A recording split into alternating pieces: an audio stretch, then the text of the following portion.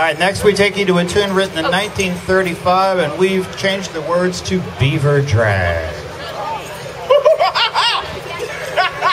This is a really great dance song. Just tell me. I need some dancers out here, please.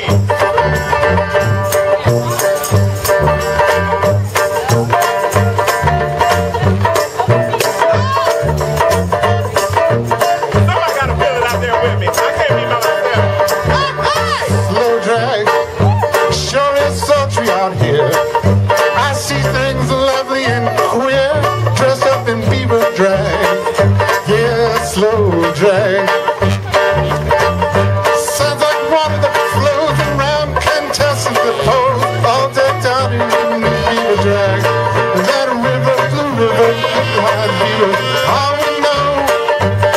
That river, blue river